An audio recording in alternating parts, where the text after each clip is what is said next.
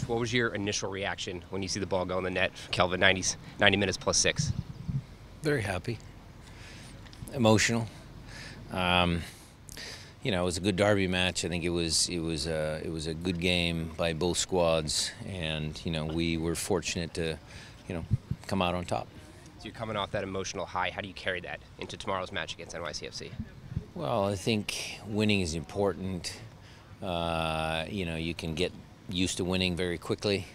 Uh, it's always better to win your home games and then gives you that little burst of confidence going out on the road for two tough games. So, a lot of different reasons why that game was important. What are some of the challenges of playing on a pitch tomorrow night that is a lot smaller than most of the pitches that you'll play on this season? Well, Yankee Stadium obviously has a lot of history behind it. The field is a little bit, you know, stuffed in there. Uh, we've played there before, so I'm not overly concerned. Their training pitch out here is the same measurements as the stadium, so we got a little taste of it in our training session.